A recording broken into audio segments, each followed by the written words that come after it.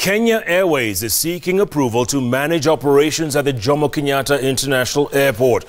Now, in its restructuring plan aimed at boosting the airline's revenue, the airline has presented a proposal to the industry regulator, the Kenya Airports Authority, outlining how it will support and grow aviation industry in the country. Now, in the proposal, the national carrier is to form a separate entity to operate, manage, and develop JKIA for a period of 30 years. Jonny Andersen KAA Managing Director said the authority's board of directors and the management will consider the proposal on the basis of the guidelines when the PPP within the PPP Act, which incorporates the requirement of public participation. It is important to say for all the stakeholders and the public to understand that the following in regards to KA's point of view on, on, on at this stage is that KAA will strictly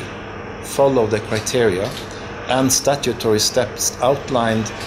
by the PPP Act and the PPP regulations in its review and evaluation of the PIIP that we have received from Kenya Airways.